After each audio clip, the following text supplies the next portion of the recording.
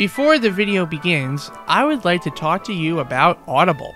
Do you recall having a holiday tradition where your parents or grandparents would read you festive stories? Well, now you can relive those memories and make some new ones. With Audible Plus membership, you can access thousands of audiobooks, podcasts, Audible Originals series, and more for only $7.95 a month. Audible is available on any Alexa enabled device, some Fire tablets, Kindles, and Sonos devices. You can also download the Audible app for iOS or Android. But wait, there's more.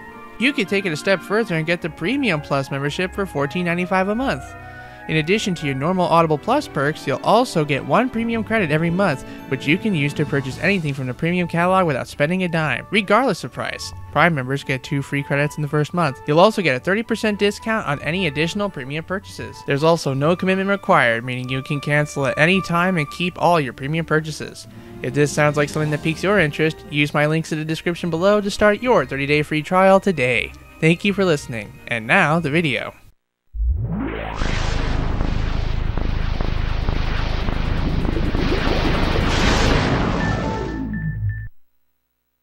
Hello, the people. Wildcard here, welcome back to Xboxmas. It is Christmas Eve, that special time of the year where you're just eagerly excited in anticipation for the arrival of Santa Claus. And for some people, your parents are nice enough to let you open one present today. And I figured for my Christmas Eve early present to you, I'm gonna go back to my roots. Well, not exactly my roots, but um, where my joys are and do something Yu-Gi-Oh related because I love doing Yu-Gi-Oh related content and I also love making videos where I get to play video games. I mean, heck, some it fills me with so much joy. It reminds me of this picture of Virtual Gamer where she's enjoying herself playing the Xbox. I hope someday I can find a girl as special as her that's real. But for now, I guess I can just enjoy um, the pictures of her including this other one by the same artist. Like, she looks so cool with that duel disk, and that bear has the perfectly manicured claws that complement her just right. I've just been informed by my assistant Rachel that I'm sounding a bit too obsessive at this point. And while I can't name the person that she compared me to, I can tell you that I do not wish to be compared to a literal mother. So let's move on with the game. Yu-Gi-Oh! The Dawn of Destiny. It is the only Yu-Gi-Oh! game on the original Xbox. And here's an interesting fact. It used to be uh, 360 back compatible, but then people started reporting issues with it running. Namely that if you put it in an Xbox 360 and then turn it off without going to the dashboard, the fan would keep running for all eternity until you turn the console on and back off or just straight unplugged it. After it was reported, they, was, they were reportedly working on a fix, but instead they decided to be easier to just remove it from the back compat titles. So now the only way to play this game is on OG Xbox. It actually sounds and looks like one of the old Game Boy titles, Hell, the, the Link Duel, it sounds like you connect two Game Boys together via link cable, but no, you just connect two Xboxes together via System Link. Yeah, a bit more complicated than its namesake. Alright, so we got a duel machine, a duel machine, a duel machine, and Yugi. Uh, I guess I'll go against Duel Machine 3. The duel machine is surely enough to deal with someone of your limited strength. If you somehow manage to beat it, I might consider dueling you. Ah ha ha ha ha!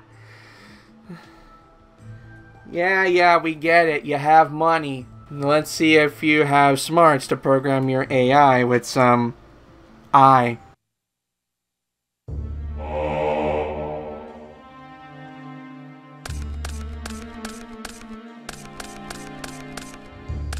Um, I'm not. I don't see this as like one of the standout titles of the Xbox, but it does have the advantage as the only Yu-Gi-Oh title on the Xbox. So if you crave a Yu-Gi-Oh video game and don't have a portable system, this is the thing for you. Wait, how do I look at the card description? Oh, the Y button. Okay. All I have a normal monsters, don't I? And uh, Dawn Destiny, I'll give credit, is actually one of the first Yu-Gi-Oh games, on console at least, to play like actual Yu-Gi-Oh! None of them weird prototype rules from Forbidden Memories and Duels of the Roses. I'll summon Ogre of the Black Shadow.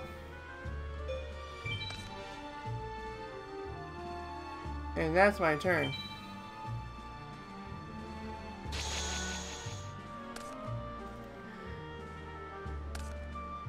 Yeah, I said not the most impressive. They are kind of cool, but again, not the best. Although those 3D models, though, ow.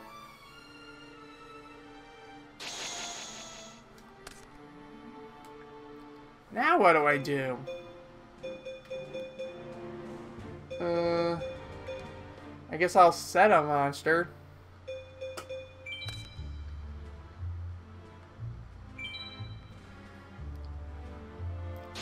I swear, if he filled my... I swear, if the game filled my deck with nothing but normal monsters, I'm gonna shit. Why'd you put one of them in defense mode? Like... I, I, I don't understand. Oh, the hamburger recipe. I need this to summon Hungry Burger. But I don't have Hungry Burger in my hands. So I'll just throw down a dummy to throw him off. Uh... What you just play? Just desserts. Po po pee. Ow. Was that machine trying to do its best Hatsune Miku impression?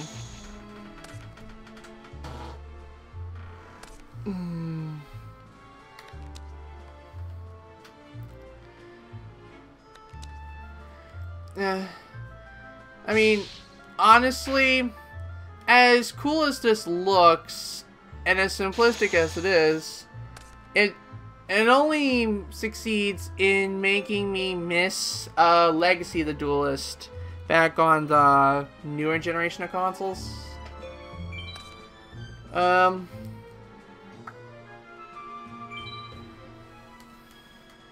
I feel honestly kind of bad for all the people that got this for Christmas. Like, they probably wanted this for Christmas because it's Yu-Gi-Oh! on the Xbox. They got an Xbox, they want to play Yu-Gi-Oh! It makes sense. Pika. Is this a Pokemon? Uh, but those poor fools, they didn't know any better. They didn't know that Duelist of the Roses had a on the PS2 had a wicked cool storyline, or that there were much, much better and more gripping Yu-Gi-Oh games on the handhelds at the time, or that years down the line there would be better Yu-Gi-Oh games where you didn't have to unlock the cards to play with the best decks, you just had to relive them in story mode. Now I sound like a freaking shill. I apologize. Mm. What beats 1250? I summon Dragon Zombie!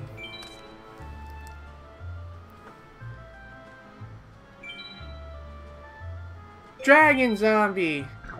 Attack his Asilo hero! Finally, I can do some real damage. Not much real damage, but damage nonetheless. I end my turn.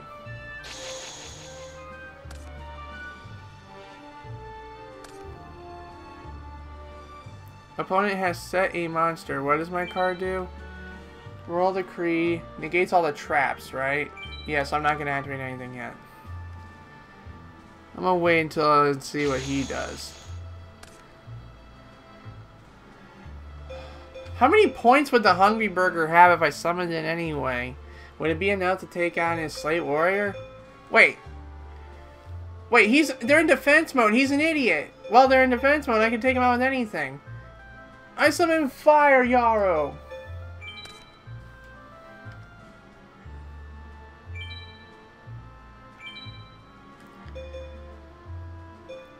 Fire Yaro, attack his Slate Warrior.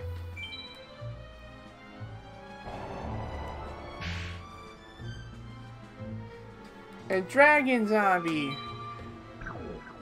Attack his Grand Tiki Elder.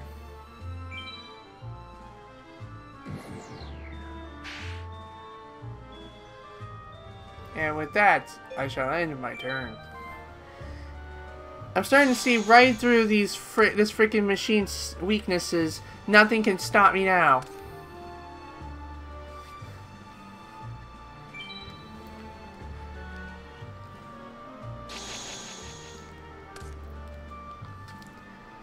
Mystic Probe, what does that do? You can activate this card when a continuous spell is activated. Negate all continuous spells. Alright, I'll set it down. And then... I summon Guardian of the Labyrinth.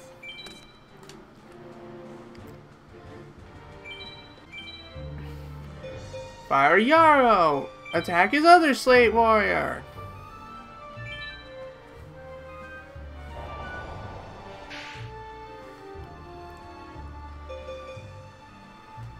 Guardian of the Labyrinth, attack this face down. Should have put him in attack mode, you moron. And uh, Dragon Zombie, attack the remaining face down, which I'm obviously going to destroy.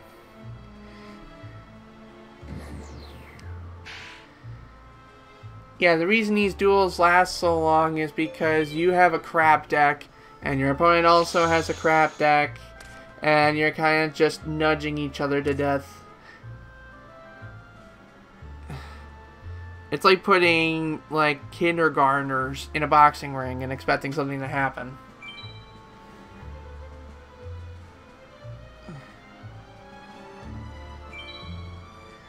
I do not fear damage. That vibration is kind of off-putting, though.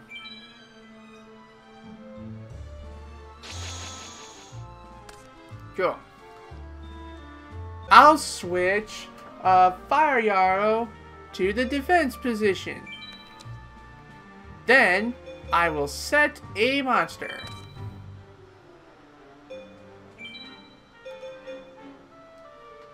And with that, I will end my turn.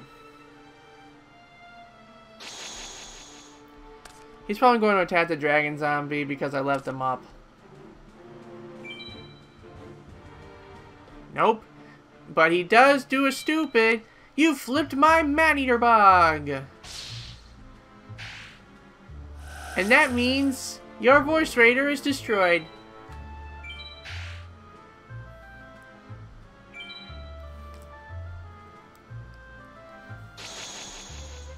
Draw.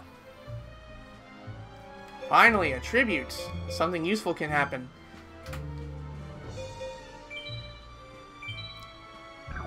I will tribute my Fire Yaru to summon Ansatsu.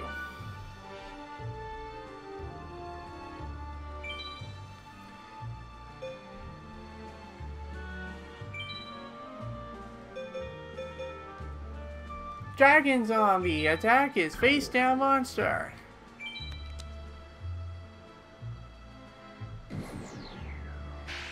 Now go for direct attack Ansatsu.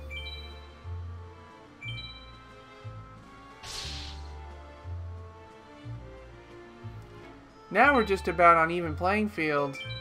I feel confident in my abilities.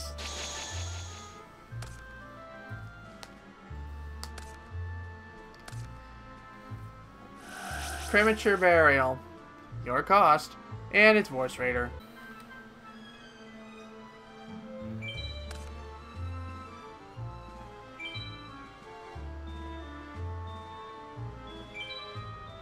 Damn it, I got nothing for this. How do I destroy it again? Ah.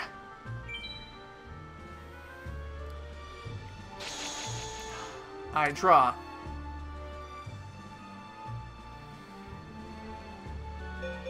I have no choice but to keep setting monsters.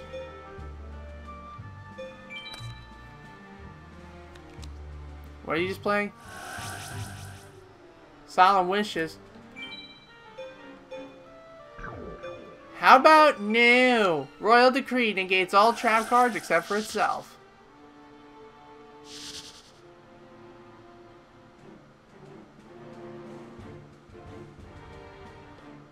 And with that, I will end. Wait, actually, before I end my turn, I'll switch dragons. Uh, let's go to battle phase, and dragon zombie will attack your face down.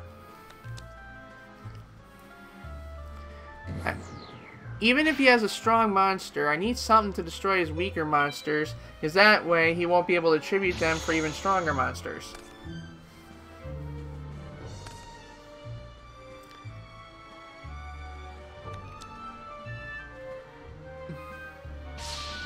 Oh wow, you destroyed a flower. Really manly man, man, man, man, late man. Draw.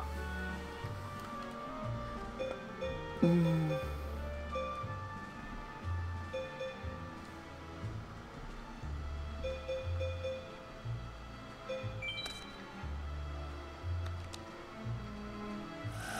Jar of Greed. You do realize that my I mean, Royal Decree negates that, right? The, man, for a for a top dollar dueling robot, he's kind of an idiot.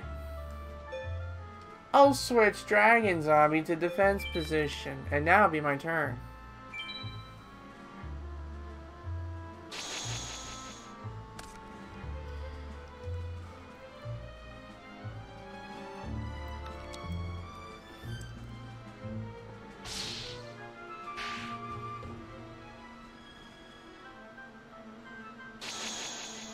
Come on, draw.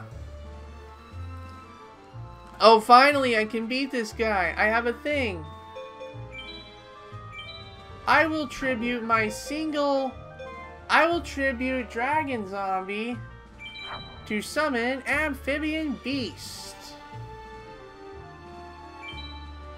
Amphibian Beast will attack your Vorse Raider.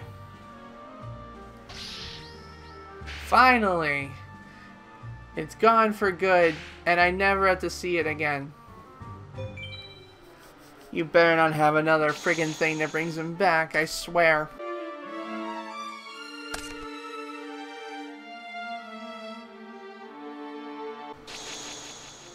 Draw!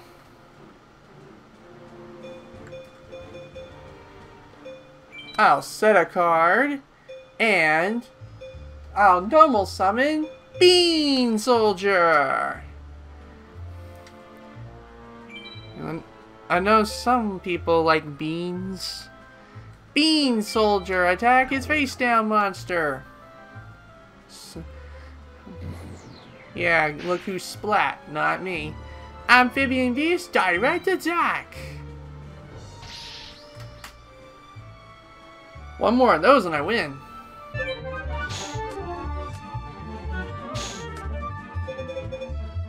Just so you have some prey to look at before you die, I normal summon Water Omotics.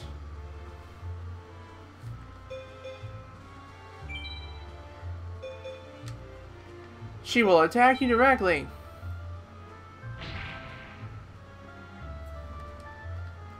And now for my amphibian beast to finish you off. Robot goes bye-bye.